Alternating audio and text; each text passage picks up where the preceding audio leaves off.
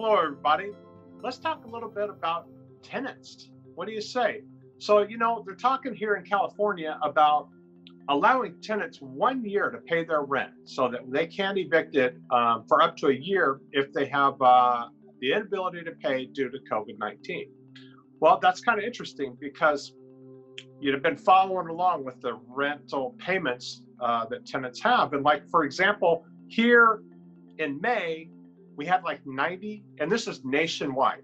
The, the stats are nationwide. Okay, so in in uh, in the United States, 90.7% of tenants paid their rent in May, and a large, just as large a percentage paid it in April. But did you know that that percentage is actually a higher percentage than the number of tenants who paid their rent last May, a year ago, pre COVID 19?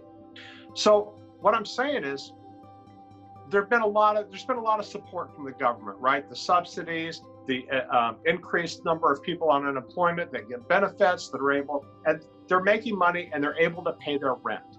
So so far we are seeing tenants paying their rent and landlords are doing well. There is a sector that's struggling a little, little bit, but if you're in an established um, income area where housing is typical as opposed to maybe a new development or a new high rise or something, those are going to um, they're going to suffer a little bit because of a variety of reasons. But ultimately, most most landlords have tenants that are paying their rent, and hopefully, we'll start to see things ease up.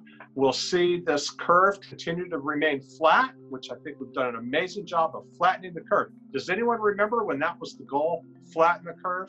Now it's not flatten the curve, it's, you know, eliminate any case of corona COVID 19. But anyway, that's a whole other subject.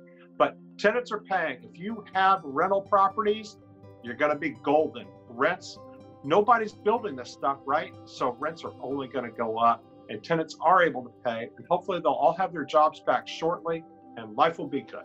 Thanks a lot. Have a good day.